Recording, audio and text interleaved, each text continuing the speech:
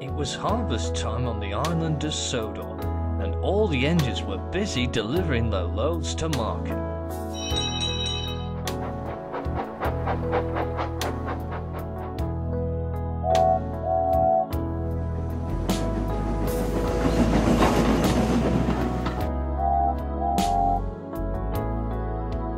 One morning, Bradley and Beverly, the bakery trucks, were in the yard with Willie when the fat controller came to see them. Willie, Toby wants to borrow you to take some apples, carrots, and turnips to market. Yes, sir, said Willie. Then the fat controller turned to Bradley and Beverly. Now, you two, he said, I have a special for you.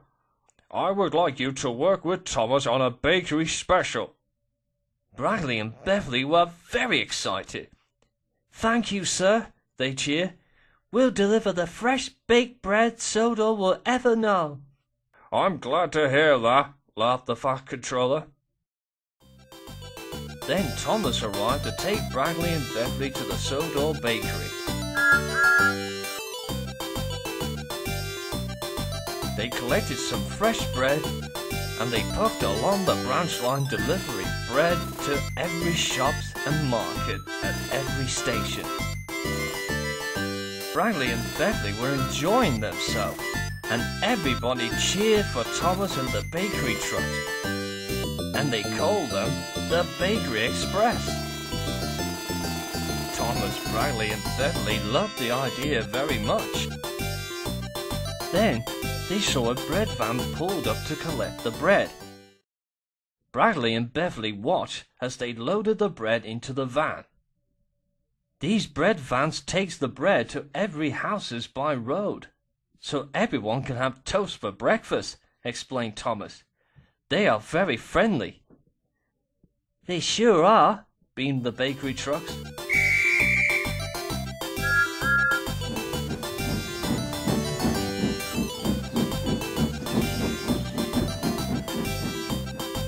They didn't know until one day Thomas arrived at Farquhar and saw one of the baker drivers standing by the line. He wasn't very friendly at all. He was very rude and had an awful temper. What took you so long? he snapped. I always arrived on time, puffed Thomas. Pah! Just load the bread into my van, scoffed the baker driver.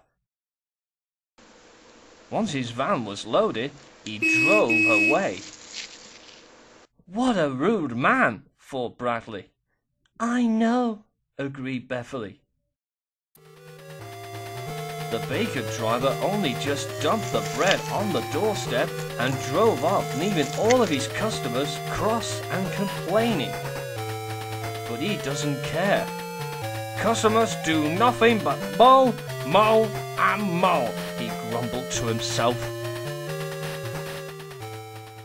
The next morning, Thomas and the bakery trucks were at the village station dropping off some fresh bread for the village store.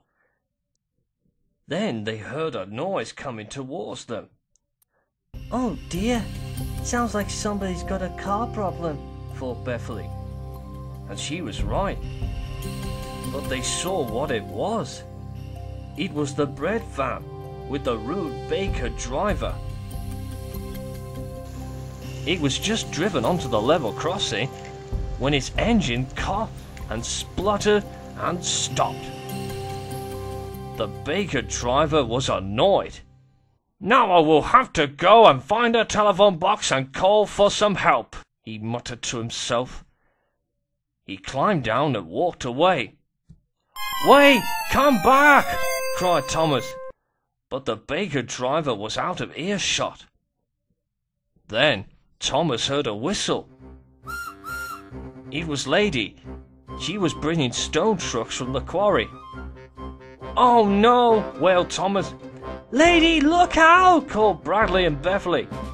Lady gasped when she saw the bread van on the line in front of her.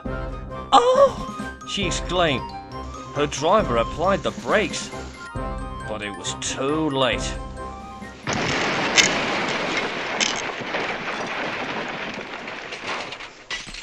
No one was hurt, but Lady's buffers was bent, and the bread van was battered and damaged. Are you all right, Lady? called Thomas. I think so, said Lady. The Fat Controller arrived to inspect the damage. The baker driver was furious. This clumsy engine had wrecked my van, he snapped.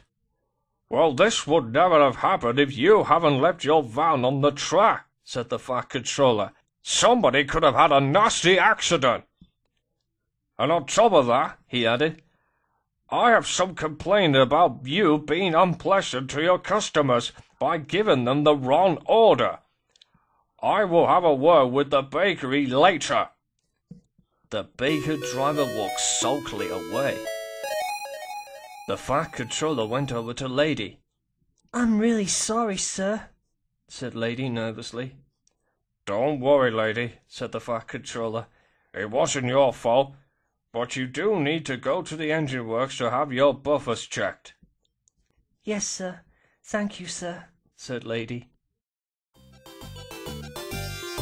Next day, Thomas and the bakery trucks were at Knapford Station delivering bread. Everybody cheered for the Bakery Express. Then Lady arrived back from the engine works. How are you feeling, Lady? asked Thomas. I'm all right, thank you, Thomas, puffed Lady.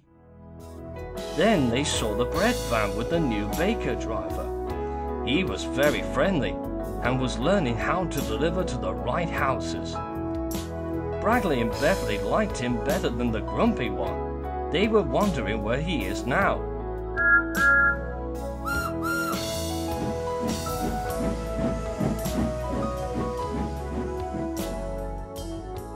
He had been taken to a factory helping unloading empty cardboard boxes as his punishment until he had learned about being nice to his customers and learn to always follow the rules about the customers is always right.